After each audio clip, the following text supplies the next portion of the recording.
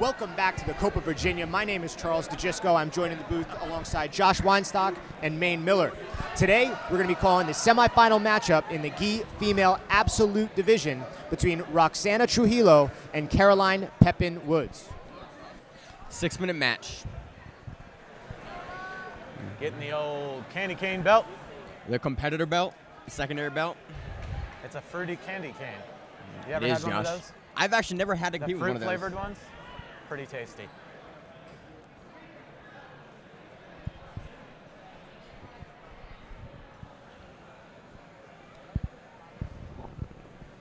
And we start off with action.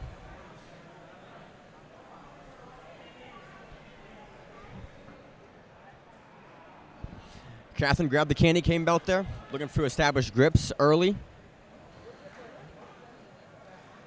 Both women looking for the takedown, potentially looking for a snap down. Caroline with both grips at the moment, but rocks on the inside, preventing any kind of effective grip fighting at the moment. Again, Look- right now we're just posturing for, for position, trying to get the best grip to either pull guard or take someone down. Caroline looking for that single leg potentially. And Roxanne looks like she's got a little judo. She keeps going for that over the back grip, which is indicative of judo players. It's a very common grip you see in judo. Up, gives it up. Went in for that sort of Uchimata and just kind of goes down, and Catherine is on the back. Catherine already with the collar grip in. Roxanne's doing a good job of turning the shoulders. She needs, uh, Caroline needs to bring her to the other side to get the other hook in, or start hip escaping and coming up on top.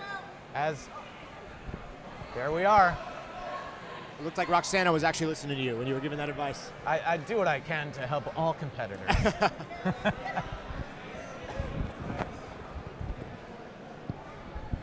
and right now, uh, Rock's coming in, playing heavy, looking to step through, and has has pushed into half guard, It's pressuring through, steps up again. Caroline does a great job of re-guarding. Seems to be messing with the lapels heavily to try to just keep her down, postured, and looking for a collar choke X choke from guard here. Attempt. And she's going to look for a sickle sweep there. Roxanne does a good job of getting out of the guard and then addressing it again, looking for the knee cut pass, going into the leg weave, trying to slide that far side knee through. Now she's just going to control the hip line and come in, or go all the way to the north south position. She comes around to the backside, looking to settle. Very nice passing sequence there from Roxana. Rock's now up three to two. Comes up to knee on belly as well, just racking up points at the moment. Really good control. Has a nice grip on that far side shoulder on the uh, on the gi material above the bicep. That would be near side. That's correct, Josh. Caroline looking to just tangle up the legs, try to pull herself back in to try to get to half.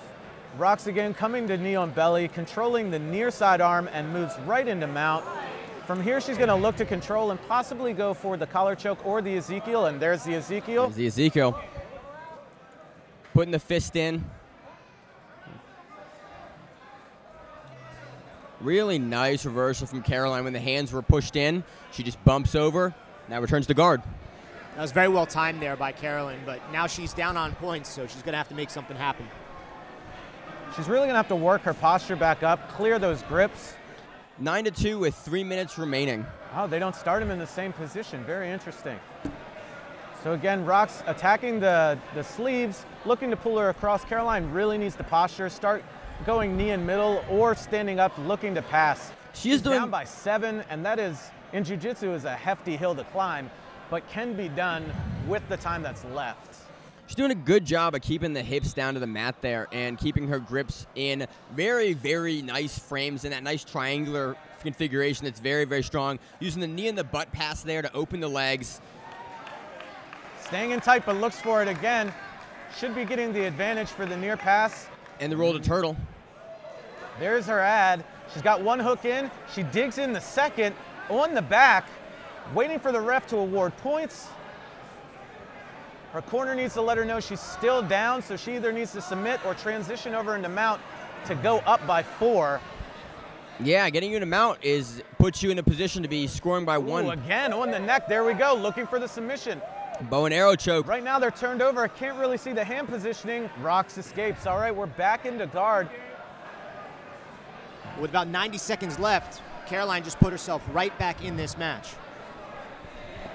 And like I said, it was a pretty uh, hefty hill to climb, but she made me eat my own words. Retying the candy cane belt.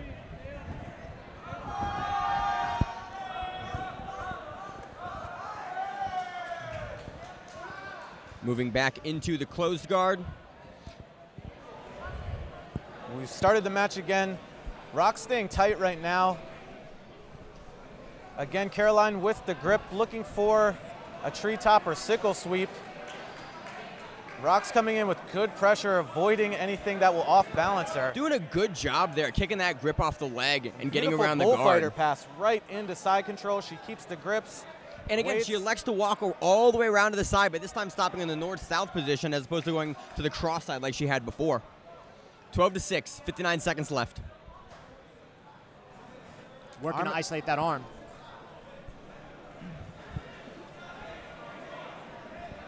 Caroline defended the attempt at the key lock very well, but she's still in a precarious position. She can be arm triangle, but beautiful reversal. Rock's got a little too heavy.